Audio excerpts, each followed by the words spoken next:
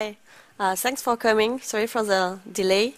So we're going to talk about 10 rules to write better UI tests with Selenium. So I'm Mathilde Lemee. I've been working before on company as a consultant to help company to improve their Selenium test and the test in general. Um, the, the, the challenge with Selenium is really not to write tests. I mean that you've got several APIs uh, in Python, in Java, and so on. Um, the problem with Selenium is how can I have robust tests? How can I maintain them uh, with no high costs and stuff like that? So writing Selenium tests really not difficult. Writing Selenium tests and maintain them, it's where the challenge is. The first, uh, and I think that's the most important I've got is the page object pattern. How many of you know these patterns? Great.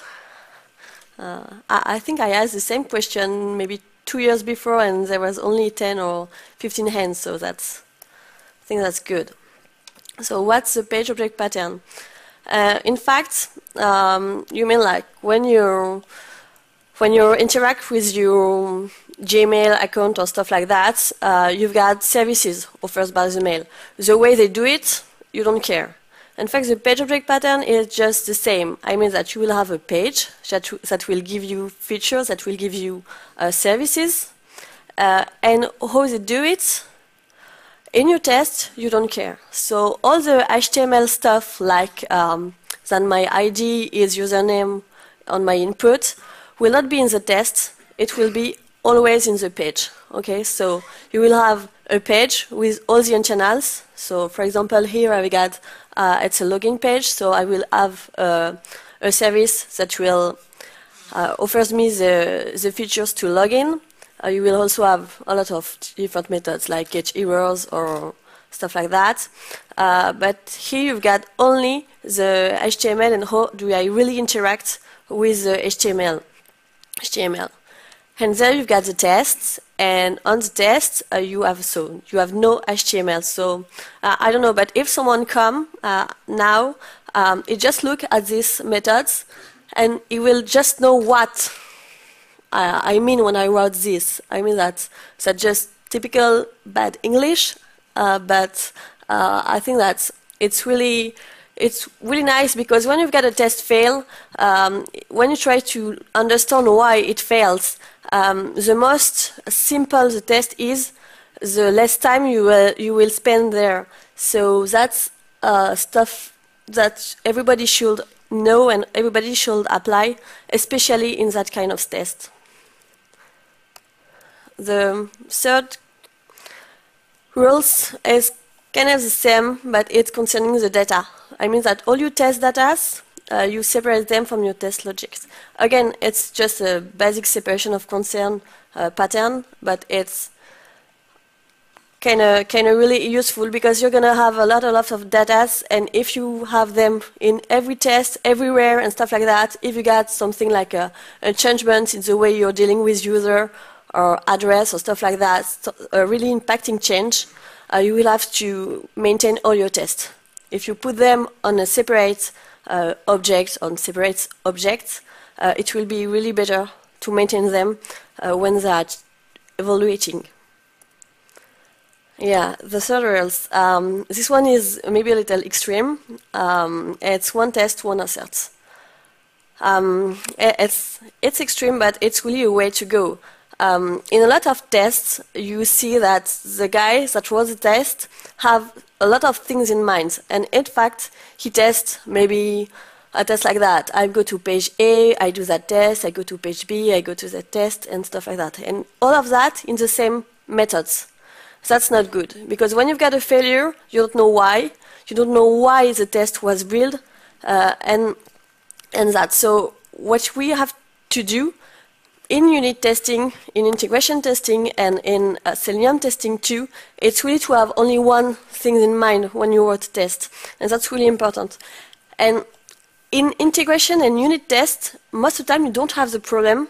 But when you see Selenium tests, uh, most of the time they're really long tests, and the guy want to avoid losing time because Selenium tests have the problem that if you work with a real browser, it takes time. It takes maybe three or four seconds to set up the browser.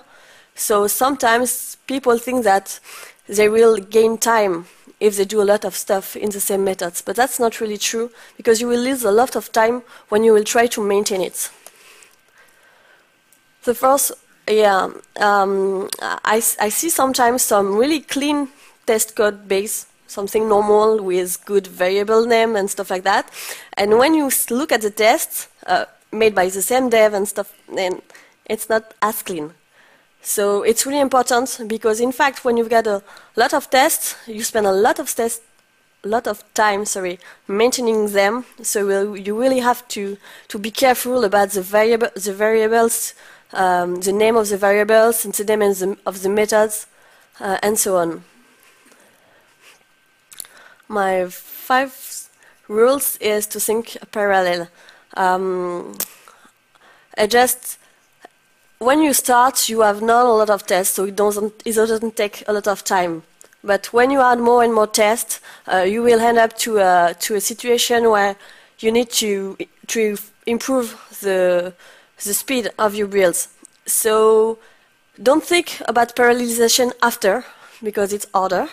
So if you just try to do some things, some tests really clean, uh, that can be run in parallel, it's always better and the, to, to, to have a test in parallel, you will have to build atomic tests. I don't see often that in unit or integration tests, but on Selenium tests, I don't know why, um, a lot of tests I've seen um, have some dependency between them. For example, you've got one test that will create a user, another that will update the same user, another one that will delete, delete it, and another one that will check, I don't know, on the, on the list that the user is not there. That's not good, okay? Because you will have, in Selenium, you can have a lot of failure. So if you don't do atomic tests, you will have more failures, and that's really not good. So people always sometimes respond that, yeah, but I have to do that because it's a UI and stuff like that. Okay, we're dev, so we can hack the database directly. Uh, we can hack stuff directly. So don't always try to go through the UI. It's, it's really not a bad practice, and the, code, the test code you will write, if you stay limited by the UI, will always be bad. Um, we're not, I mean that we're not QA or stuff like that. We can, we can develop, it's, it's our job. So don't stay limited by the UI. Hack it. Find there is a lot. Yes, there is. Sorry, there is plenty of frameworks that can help you. So really, you you don't have to be limited. Eight. I think it's easy one. Who don't use uh, Jenkins or stuff like that at work? Yeah, everybody. So up. the nine is to think incremental. When you start a new project with Selenium, it's good, okay? But most of the time, when you came to a legacy project, when you've got not, no test, no unit, no integration, no UI Selenium test, nothing. One best practice is to start with a UI test, because most of the time you, you lose a little knowledge about the project, so you, you will start to do Selenium test. But that uh, can be really dangerous, because what you have to, because Selenium tests are breakable, um, not really stable, uh, are hard to maintain. They cost a lot to maintain too. So the deal here is really to stay small. You do maybe 10 or 15 or 20 tests. You wait. You wait maybe two, three, four days, five days, just to be sure that you don't have build problems, you don't have some tests that are unstable and stuff like that. And if it's good, you can go bigger and bigger and bigger and bigger. And at the end, you will have the, all the projects that are covered. Um, my last rules uh, is just a serious trust. I don't know why. Okay, I think we nobody liked delete, deleting code. Okay, but deleting tests, you don't know. You do not remove quality of the project when you delete a test. Okay, Sometimes you see and you see there is three or four tests that test exactly the same thing, and you have to clean also your tests. Uh, it's not it's not a shame to delete the test. Um, and in Selenium, because you're dealing with external web services and external stuff, sometimes um, we see builds that going red and green and red and green. N not a lot, but stuff like that happens.